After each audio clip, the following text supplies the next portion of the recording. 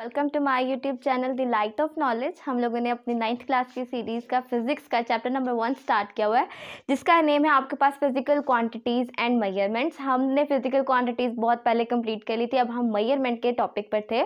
हमने पहले देखा था लेंथ मयरिंग इंस्ट्रूमेंट उसके बाद किसी सिलेंडर का अगर साथ हमने लेंथ के साथ साथ डायामीटर और रेडियस भी फाइंड करना हो, उसके लिए हमने दो इंस्ट्रूमेंट देखे थे, हमारे पास वर्नियर कैलिपर और स्क्रू उसके बाद हमने मैथ मयरिंग इंस्ट्रूमेंट देखे थे, जिनमें हमारे पास फ़िज़िकल बैलेंस था बीम बैलेंस था लेवर बैलेंस था और उसके बाद इलेक्ट्रॉनिक बैलेंस था। आज हम टाइम मेजरिंग इंस्ट्रूमेंट देखेंगे जो कि टाइम को मैयर करने के लिए हमारे पास यूज़ होता है। उसका नेम है स्टॉप वॉच ठीक है? या आजकल तो जो हमारे पास स्मार्टफोन्स हैं, उनमें भी हमारे पास स्टॉप वॉच मौजूद होती है। एक फ़ंक्शन है हमारे पास स्टॉप वॉच का।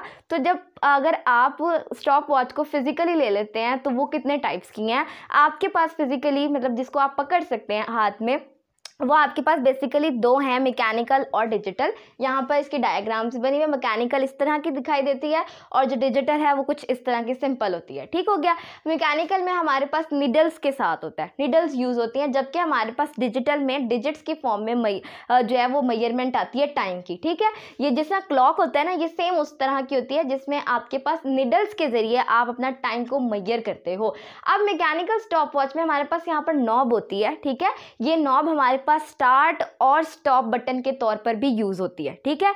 अब क्या है मैकेनिकल जो आपके पास स्टॉप वॉच है, ये हमारे पास ज़ीरो पॉइंट वन सेकेंड तक जो है वो मैयर कर सकती है टाइम को, ठीक है? ज़ीरो पॉइंट सेकेंड तक जो है वो टाइम को मैयर कर सकती है।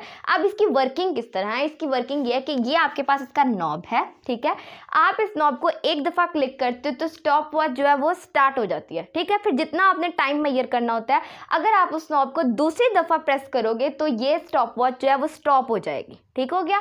आप जब पहली दफ़ा प्रेस करोगे तो स्टॉप वॉच स्टार्ट हो जाएगी। दूसरी दफ़ा प्रेस करोगे तो जो है आपके पास स्टॉप वॉच स्टॉप हो जाएगी।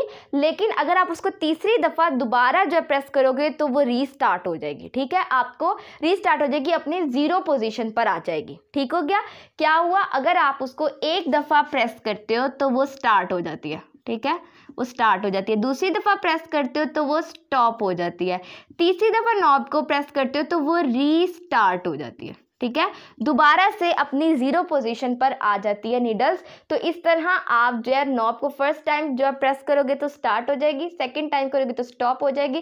थर्ड टाइम करोगे तो वो आपके पास रीस्टार्ट हो जाएगी। ठीक हो गया? अब आ जाते हैं digital stop watch digital stop watch जो है वो हमारे पास मैकेनिकल स्टॉप वॉच से ज़्यादा अच्छी रीडिंग दे सकती है। मतलब मोर प्रिसाइजली हमारे पास जो है वो रीडिंग दे सकती है। ज़्यादा डेसिमल पॉइंट्स में जो है हमारे पास रीडिंग दे सकती है। डिजिटल स्टॉप वॉच चलती कैसे है? ये बेसिक बेसिकली हमारे पास इलेक्ट्रिक सेल की मदद से जो है चलती है, जिनको चार्ज करना पड़ता है। ठीक हो गया। अब ये जो है वो टाइम इंटरवल को मैयर कर सकती है वन ओवर हंड्रेड सेकेंड या zero point zero one second तक।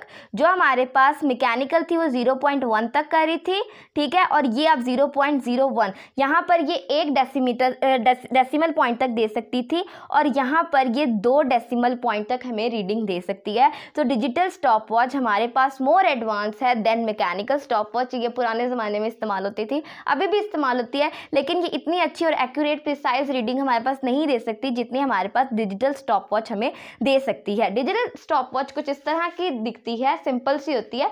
यहाँ पर एक इसका मॉनिटर लगा होता है स्केल टाइप सा लगा होता है, जिसमें आपके पास रीडिंग शो होती है। ये आप, पहली जो है, ये आपके पास मिनट्स को शो करती है, उसके बाद आपकी ये सेकेंड्स को शो करती है, और उसके बाद आपके मिली सेकेंड्स को जो है, ये आपके पास, तीसरा जो पॉइंट होता है, ये आपके पास मिली सेकेंड्स को जो है, वो शो करता है। ये भी नॉब से चलती है। अगर इसके नौ, इस नॉब को एक दफ़ा प्रेस करते हो तो वो स्टार्ट हो जाएगी दूसरी दफ़ा प्रेस करोगे तो वो स्टॉप हो जाएगी अगर तीसरी दफ़ा आप इसको प्रेस करोगे तो ये आपकी रीस्टार्ट हो जाएगी। आज का लेक्चर आपका बहुत ज़्यादा सिंपल था जिसमें आपने देखा है टाइम मेयरिंग इंस्ट्रूमेंट कौन सा है आपके पास? स्टॉप जिसकी जो है दो टाइप्स हैं मैकेनिकल स्टॉप और digital stop watch mechanical stop watch में नीडल्स की हेल्प से जो है ये क्लॉक की तरह दिखती है और नीडल्स की हेल्प से आप जो है वो टाइम को मैयर करते हो जबकि आपके पास डिजिटल स्टॉप वॉच में डिजिट डिजिट्स के फॉर्म में, जो है ना वन टू थ्री की फॉर्म में आपके पास रीडिंग आती है। आई होप आपको मेरा वीडियो पसंद आया होगा। Thank you so much Allah